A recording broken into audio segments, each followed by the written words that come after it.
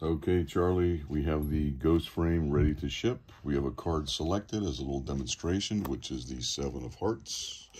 You could shuffle it into the pack, and you can spring it uh, at the frame if you want. You could show the back of the frame, or you could just fan the cards out, and you can more or less just throw it at the frame, and the Seven of Hearts now appears inside of the frame itself.